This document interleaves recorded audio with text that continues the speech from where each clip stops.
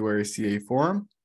Um, with us today, we have Miss Yan from Carnegie Mellon University, and she's going to be giving a talk on uh, Pico CTF. So, uh, Miss Yan, I'm going to pass it over to you. Thank you so much, Josh. Five months ago, I was volunteering at a STEM event for K through 12 students. I was volunteering for Pico CTF, which is a platform that teaches cybersecurity for free that attracts lots of middle school and high school students. From there, I met a student in third grade, Elijah. His family traveled to Pittsburgh to advocate for his brother's high school robotics team. And his booth was right next to ours, so I invited him to come over and play the Pico game, which is a gamified version of Pico CTF. And he came and played the game in my booth. I observed him for a while when I was helping other people. And for a very long time, he seemed to be struggling and didn't seem to understand the problem. And he tried it again, still didn't work. He tried it for seven times and was getting a little frustrated. I almost wanted to drop in some hints, but I decided to hold myself back. Elijah did not give up. Visitors came and went, but he was still there. Nothing could distract him from the game. He was hooked. The Pico CTF volunteers went to lunch when he was there, and when we came back, he was still there. This is a problem Elijah struggled at in the beginning. This question is called feeding creatures on the Pico game. And like the title suggests, the user bakes cookies for those creatures. The game is based on trial of error and process of elimination to understand which ingredients make up the kind of cookies. So I watched Elijah try to figure this out for over an hour. At Elijah's age, I was just amazed by how long he could concentrate without any distractions. Even as an adult, sometimes I have a hard time concentrating for a long time. And by the end of the day, he finished the entire Pico game, which is, consists of six modules of this game he tried before. And normally it would take an adult a couple of hours to finish. So I challenged him to play the CTF. And he accepted the challenge and even convinced his brother later on to sign up for the Pico CTF competition. I'm sharing this story because learning from Elijah reminds me of a critical problem in our industry today the cybersecurity talent shortage gap. And closing this talent gap is the goal of my presentation. And today, I want to share with you an amazing resource that changed my cybersecurity career trajectory and brought hundreds of people to the security industry. Today, we're going to talk about why talk about teaching cybersecurity, gamifying the education system. Before we talk about CTFs, I want to give some data about the talent gap that I mentioned. How big is the gap? CyberSeek reported that there are around over 1 million people in the in, employed in the cybersecurity industry in the US, but over 700 unfilled positions are currently available. The gap is roughly 40% of the total required talent number. And by 2025, the cyber talent shortage gap is projected to grow to 3.5 billion. Now, despite, despite facing a critical lack of talent, after meeting Elijah, I have faith.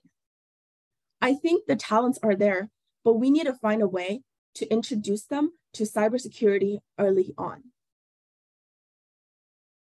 The question now is beyond should we, but now rather do how do we teach cybersecurity?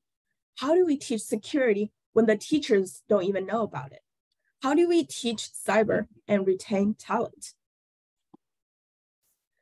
As a student myself, I had some confusions or difficulties initially getting into cybersecurity. And here are some of the problems I ran into myself. Firstly, I wasn't aware of the career options when I was younger, such as in middle or high school. I had only discovered cyber as a career only after I entered college and chose my major. In fact, in a survey conducted by Edweek surveyed 918 K through 12 educators are across the United States in May of 2020. And less than half, only 45% educators they surveyed said their students are learning about cybersecurity subjects. Additionally, with such a demand in cyber talents, I also found that limited cybersecurity courses are provided by the academia. An article by CloudPassage mentioned that only one of the top 36 undergraduate computer science programs in the United States requires a cybersecurity course for graduation. And three of the top 10 programs offered no cybersecurity classes at all. Why is that? The field changes too fast, and the scope is too big which makes academia hard to keep up. I was very fortunate that my undergrad had a supportive cyber community. But if students don't have awareness of cyber from schools, it is more difficult for us to learn about those opportunities.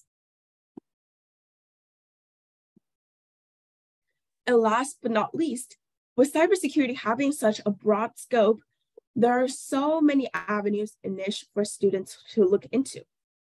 For example, penetration testing, digital forensics, incident response, governance, risk, and compliance. Each of them requires slightly different skill sets. Sometimes it can be significant. It can be a little overwhelming for people who are breaking into cybersecurity initially. I had those difficulties initially navigating through the process of breaking into cybersecurity myself. And similarly, there are lots of college students who are still exploring their career options or trying to get into cybersecurity but don't know where to start. Although I am a student in my current early career, I took a try and considered this problem. I'm here today because I want to share my perspective as a stu student on brainstorming a solution. If we want to find talents to fill the cyber talent shortage gap, we need to spread cyber awareness and find a sustainable way to attract talents early on. And we want to grow a community that building and building challenges to make it accessible. The solution of that is through gamifying security education. Before we dive into CTFs, we need to understand what CTFs are. So how many people here have heard of a CTF before and know what a CTF is? please feel free to comment in the chat box. So CTFs are known as the capture the flag competitions. Jeopardy style CTFs, as known in the shown in the presentation, allows you to solve problems using cybersecurity skills. It is trying, it's like trying to solve a puzzle. We're looking for a way to solve problems. And when you solve a challenge, you get a certain amount of score. The goal is to score high through solving problems. Now we have an example problem in here. Does anyone want to give it a try on what is the first step that you would like to solve the problem? Again, feel free to chat um, in the chat box.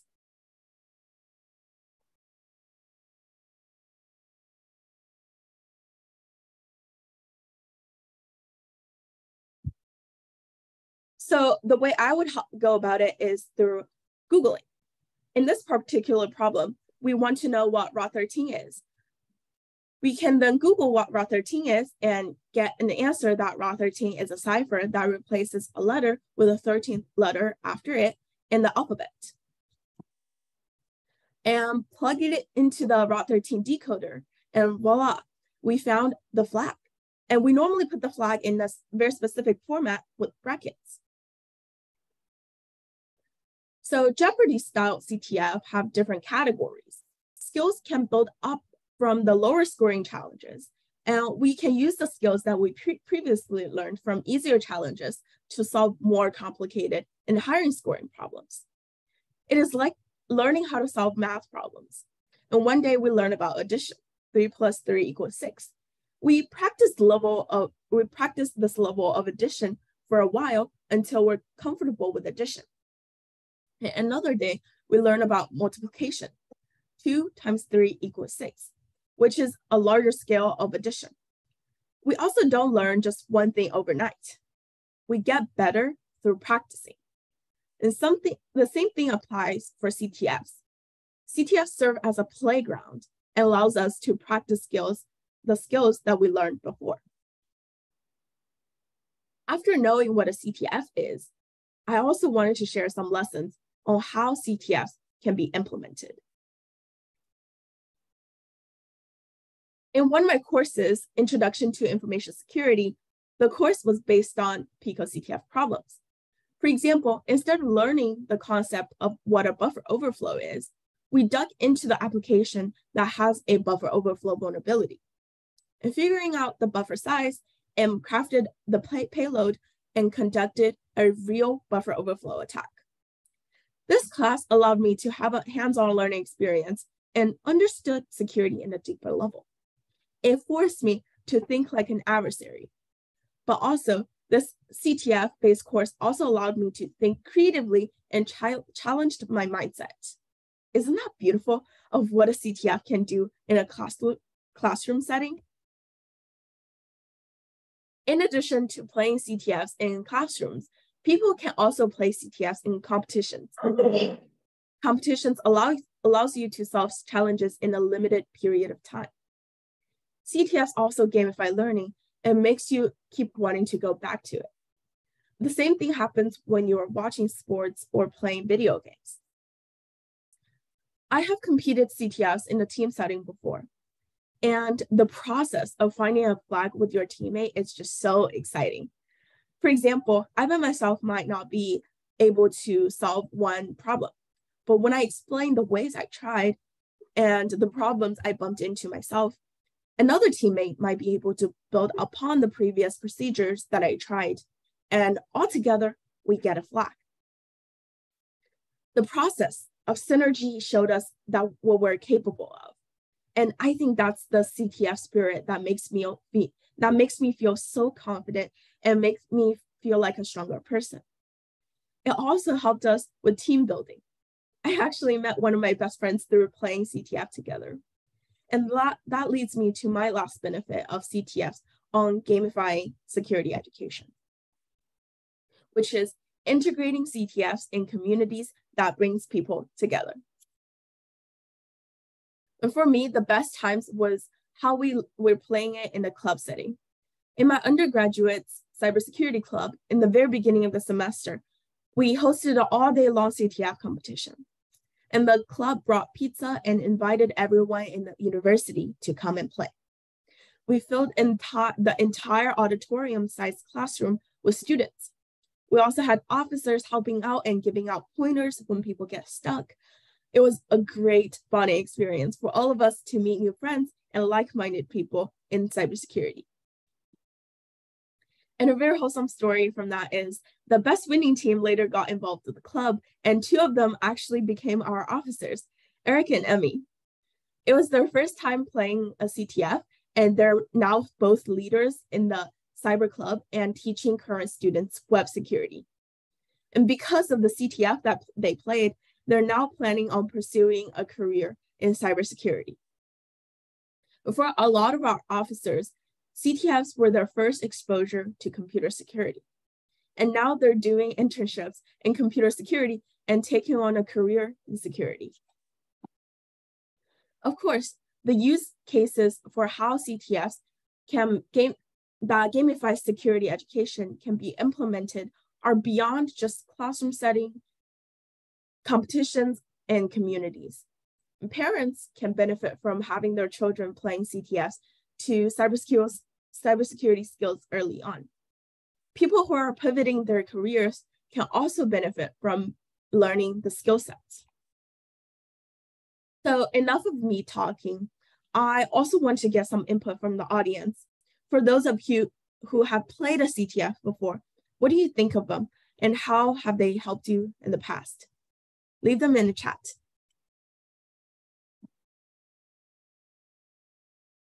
So I have a mission. Everyone should be able to solve one security problem. Without further ado, let's play Pico together. I first want to do a demo with the Pico game. Um, so we recently developed this game because we realized that Pico CTF can be difficult to get into sometimes. And we want to develop something that tracks beginners' attention while teaching cybersecurity skills at the same time. We turned the idea into developing a Unity game. So let's check it out.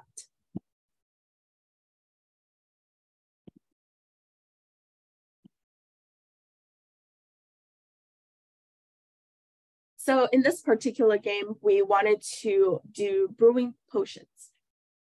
Making potions can be dangerous, but you are up to, up to the challenge.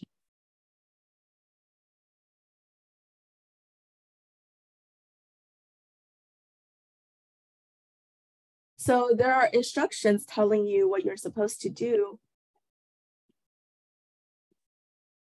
Slowly hovering over them, and I can explain it right now.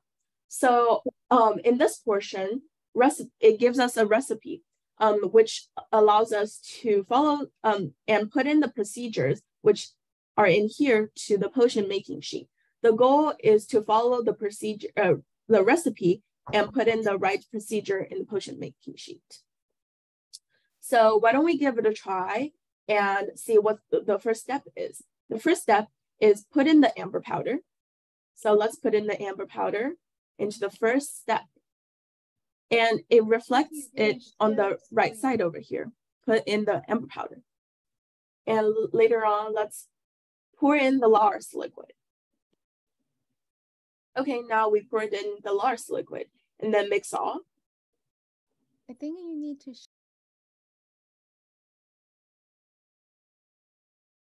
Am I sharing the screen? Okay. No, no, you're just sharing your slide. Oh, I am so sorry about that. Let me see if I can.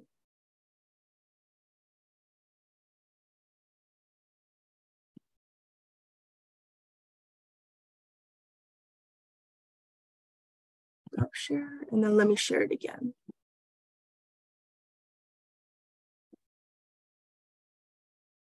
Is it sharing for everybody? Yep, we can see it. Okay, perfect. So let me just redo the procedures. Um, so in this particular game, we want to follow the recipes on the side, and then we want to put in the procedures in the potion making sheet. So let's put in the amber powder as the first step, and then pour in the Lars liquid, and then mix all. But now that we see that we wanted to pour in the Lars liquid again, so let's, we only have one option for pouring the Lars liquid. Let's see if we can hover and re uh, repeat that procedure for the fourth step. Okay, so now that we notice that it is not, we're not able to copy that into the fourth step, what should we do at this time? Now that we see over here, we have a loop, a loop option that we can um, that we can use. So why don't we try using a loop and put that in the Lars liquid so we can repeat the procedure, hopefully. And now we see that there's an error on the right side. Left bracket in line two is missing its right bracket. So now we can see that there's a leftover right bracket over here. Let's complete the right bracket over here. Miss Yan, yes. Uh, we have people asking for the website. Oh yeah, I will share it um in the um slides later on. Okay, thank you. Yeah. Um, and lastly, we just put distill and try, try to see that if this works. Cast the spell.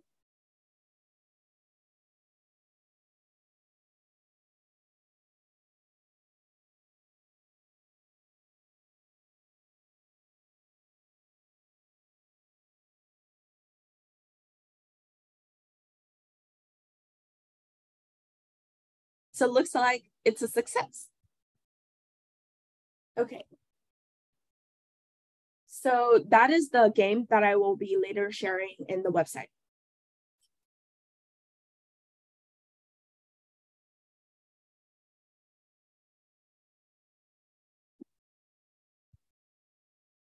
So that is the Pico game, but there's also Pico CTF, the platform if uh, you want to, if you're close by to your laptop, if or if you are not, you can take out your phone and navigate to picoctf.org website.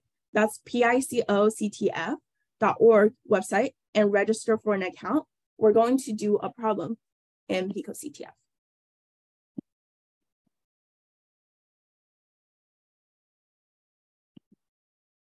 So this is the PicoCTF website. Uh, let me just go into the picoctf.org.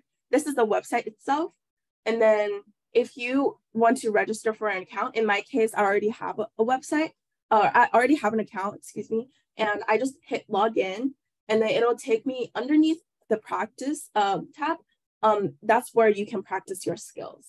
And uh, let's hover over to categories. So for PicoCTF, there are different kind of categories. We have web exploitation, cryptography, reverse engineering, forensics, general skills, binary exploitation, and uncategorized option. Um, so the problem that we want to try out today is underneath web exploitation. It's called cookies. Ma- ma'am, Yes. are you are you trying to share your slides again? We see Oh, the yes. yes. My apologies. Let me just reshare one more time. Is everybody seeing it? Yes, ma'am. Okay. My apologies about that. So, um, so this is the uh, the problem that we want to try to get in uh, to try to do this time. And what you want to do is just navigate to picoctf.org. So right here, picoctf.org, you want to hit login um, and uh, sign up for an account if you don't have one, and then navigate to practice tab. And then the problem that we're going to do today is underneath web exploitation. It's called cookies. Who doesn't love cookies? Try to figure out the best one, and it gives us a web link. So let's go into the web link. Welcome to my cookie searching page and see how much I like different kinds of cookies. So because this problem kind of hinted what we wanted to try to look into cookies, we know that um, we want to open and it's under web exploitation. So we want to, what we want to do is right click to our mouse and inspect. And because we know it's cookies, um, it should be underneath. Let's go hovering over to application and underneath the storage section. So in here we can see different kind of um, different kind of options underneath cookies. We have name, value, domain, path, expired, uh, size, and different kind of things. So now we want to just try to poke around to try different options. We want to try. So since the website wants us to enter snickerdoodle cookies, let's see what happens after we enter snickerdoodle cookies and how it reflects in our inspect um, in our application in our cookies section. So after we enter snickerdoodle cookies and search, that's a cookie, not a very special one though. I love snickerdoodle cookies. So now we might notice that the value um, of the page changed from negative one to zero. Now, we will know that in here that it might want us to change the value of this page in order to reflect different kind of um, different kind of outputs from this website. Let's try to poke around and try really large number. Let's say 100. And refresh the page. That doesn't seem to be a valid cookie. Okay, so now we might know that at this time, this value might be too big.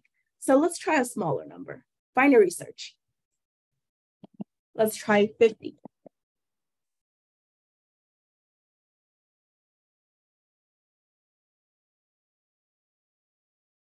That doesn't seem like uh, to be a, that doesn't appear to be a valid cookie again. So let's try something smaller, like 15. That's a cookie, not very special one though. So it keeps giving us different kind of outputs. So let's just try to increase the number. Let's try 17 and waffle cookies and 19 just i'm just testing the water to see if um if what number worked. Okay so 18 looks like it worked and it spits out it spits out a flag which is pico ctf everyone looks loves cookies.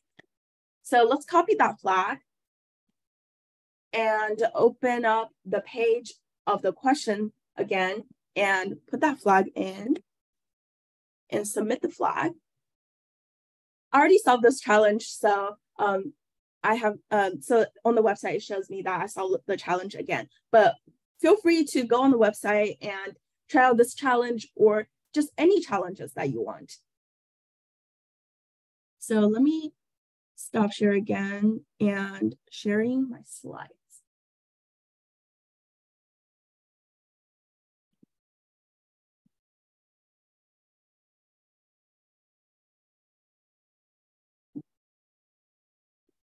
So these are the links to the to the questions or the game that I showed before. Um, I just wanted to share those resources. If you're new to cybersecurity, those are the mentioned resources of the Pico game and Pico CTF. And the slides will be available uh, on the website as well. So these are my resources, but I also wanted to hear from the audience what are some CTF's resources for beginners, especially um, or K through 12, who want to, who don't know much about cybersecurity or who wants to get into cybersecurity? Feel free to type in the chat. Actually, let me just share, try to share the link for now so um, that everybody has them.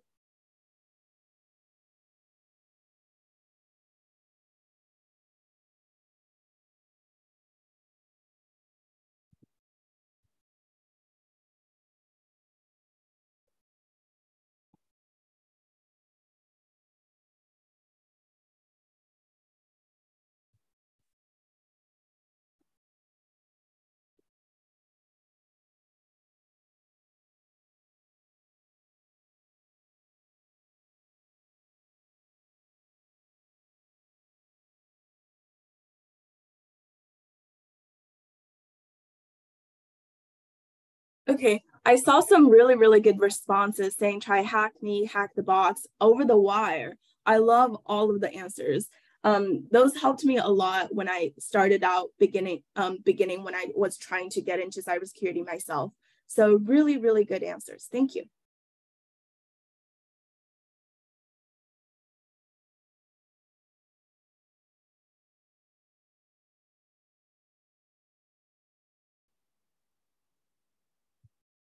So, so my challenge for you today is to go on picoctf.org and sign up for an account and do one security problem. Because today we started from that one problem, tomorrow more people will start doing security problems. And slowly, all the schools can eventually implement cybersecurity education into their curriculum. And more and more students are aware that cybersecurity is a solid career option. So that is our goal in Pico CTF. As of today, we have more than 300,000 active users. The number is roughly the same as the population of the city I'm in, Pittsburgh itself.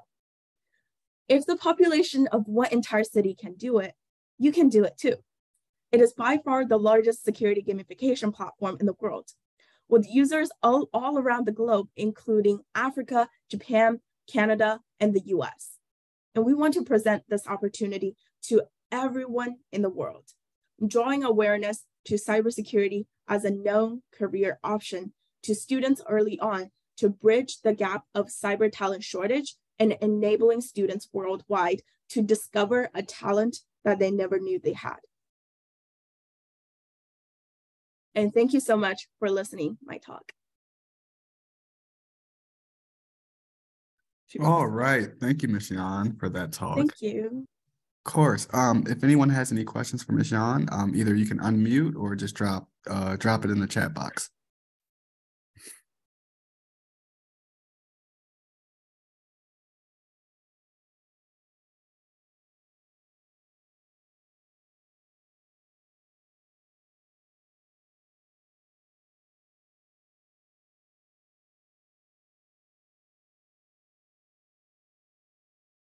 Thank you, everybody, for your very kind words. And thank you so much for having me, Josh, and the CAE community.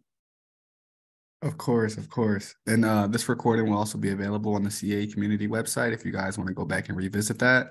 Um, I'll send out a note to the community uh, letting you guys know when it's available.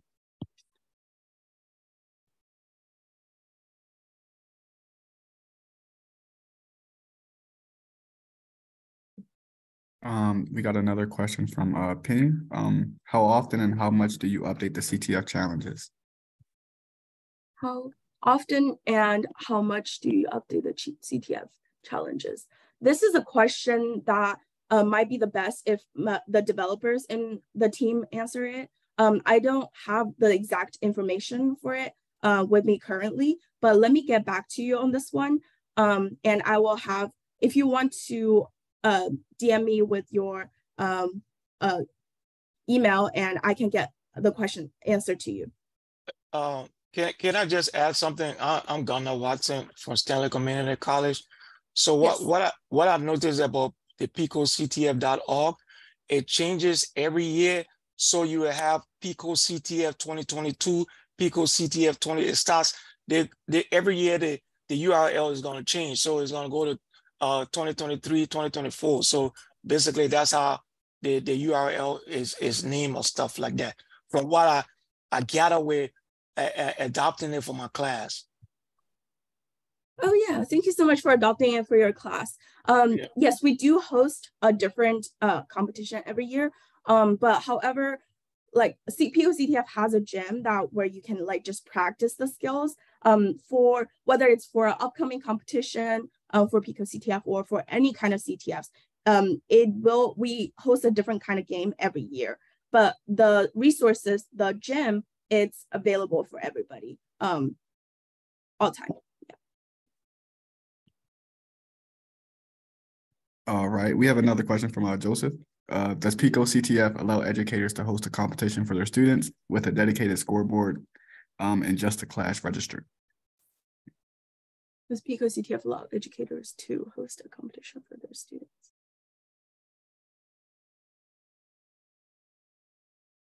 So for the question, um, I saw that Megan is, um, I saw that Megan is uh, here and Megan is um, the wonderful woman that runs PICO-CTF. And um, Megan, sorry to put you on the spot. If um, if you want to chime in and uh, put in the answer in the chat, if you would like.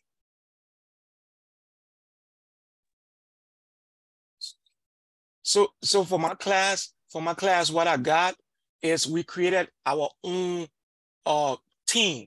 So we give an invite code to our students so nobody else can be part of that that competition group because you must have a key to be able to enter that group so you can create your own group and share the key with your students and then your students will use that key to join that group.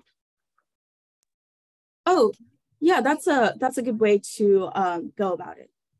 Can you customize the competition questions in your classroom, I saw that there is you can create a classroom, like in in that classroom, student can like answer any question, just have a dedicated uh, scoreboard, or you can like put certain questions there.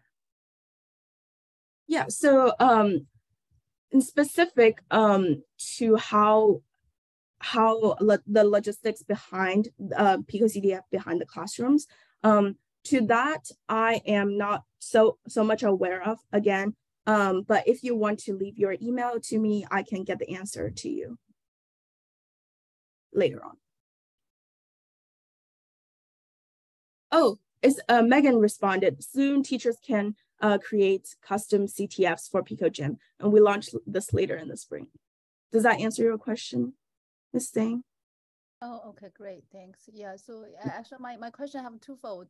Uh, one is uh, whether we can pick, you know, some CTF questions from the pool that you already have, you know, into certain like classrooms, so that there will be more targeting. Yeah, and then second is whether like we can use this uh, platform as kind of hosting platform that we can kind of design our own like one you know, like TryHackMe, they have like some certain things that you can put like your own uh, questions in. Yeah, so I believe um you can. So teachers can create like custom uh would would pick different kind of questions in the um in their classroom. Yeah, okay, that's great. Thank you. Yeah.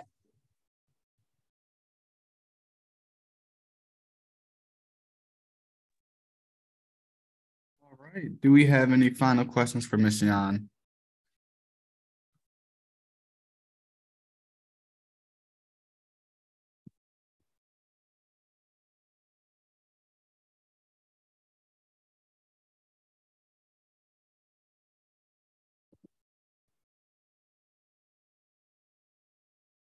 Okay, I'm not, I'm not seeing any. Okay, so. Yan, I just want to thank you again for taking the time to come talk to the community.